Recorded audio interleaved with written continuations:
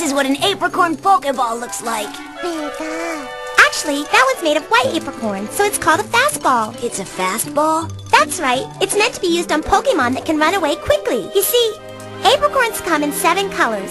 White, red, blue, black, pink, green, and yellow. There's a different Pokeball made from each color apricorn, and every kind of Pokeball has its own name, its own special colors, and its own specific uses. Pink apricorn tree. Oh, cool. It's easy to see where it got its name. These are used to make love balls.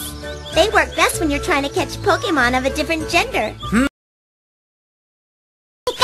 See that one? That's a yellow apricorn. It becomes a moon ball. They work on Pokemon that use moonstones to evolve. You could use it to catch Pokemon like Clefairy.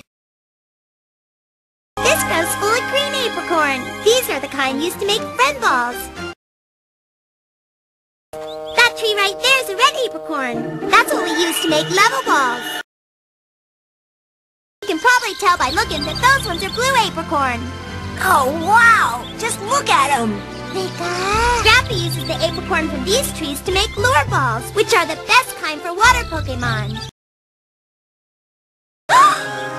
Look at how big that black apricorn got.